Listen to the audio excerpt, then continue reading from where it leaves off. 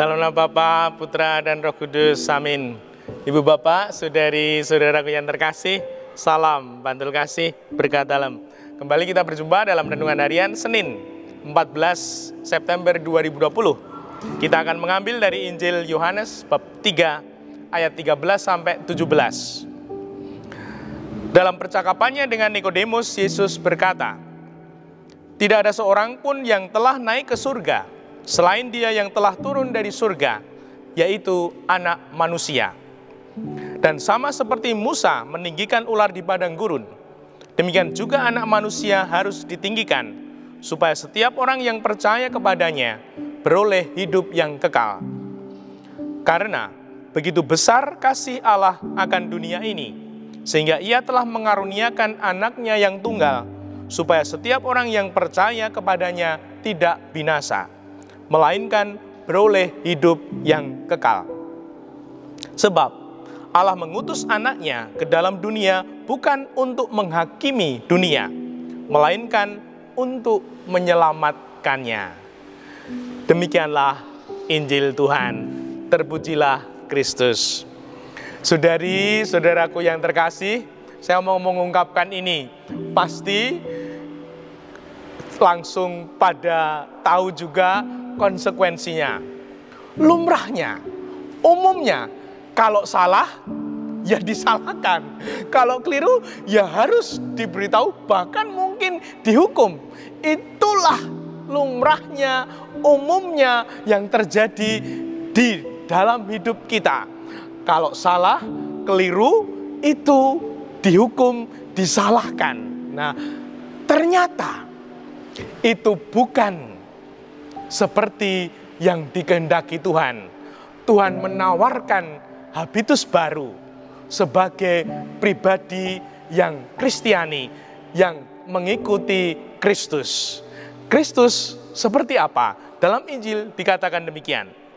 Sebab aku sebab Allah mengutus anaknya ke dalam dunia bukan untuk menghakimi dunia, melainkan untuk menyelamatkannya. Dunia yang bersalah, keliru, dan dosa tidak disalahkan, tidak dihakimi, namun diselamatkan, dibenarkan.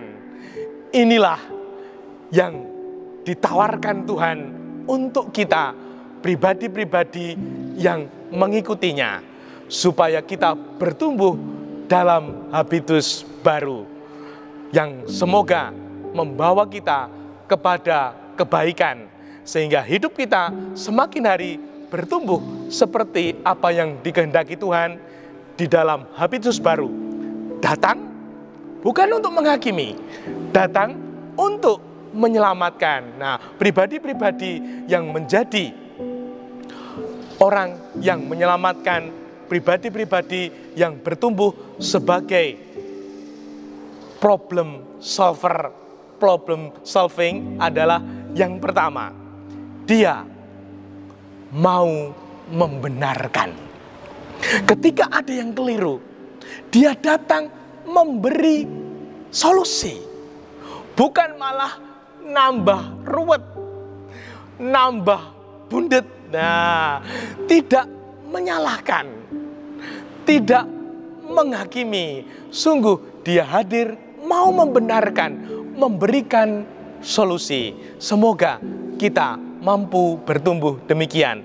Yang kedua, pribadi yang mau sungguh-sungguh menjadi problem solver, problem solving, dia menemani orang yang gagal, sakit, baru menderita, dia merasa sendiri, membutuhkan teman. Nah, kalau kita sungguh-sungguh bisa hadir menemani, ini sungguh sangat menghibur, menguatkan. Nah, semoga kita mampu hadir sebagai teman yang menemani. Tidak harus menasihati, tidak harus omong banyak, menemani. Mengunjungi orang sakit, menemani orang yang berduka. Semoga terlaksana. Yang ketiga, pribadi yang hadir sebagai problem solver, solving, dia membimbing. Pribadi ini hadir sebagai mentor. Dia mau mengarahkan. Supaya apa? Supaya menjadi terarah, tidak salah arah. Karena semua orang bisa salah arah. Dia hadir membimbing, mengarahkan. Semoga dengan demikian semakin banyak orang yang terselamatkan seperti kedatangan Tuhan bukan menghakimi namun menyelamatkan. Dimuliakanlah Tuhan kini dan sepanjang masa. Salam bantul kasih berkah dalam dalam Bapa, Putra dan Roh Kudus. Amin.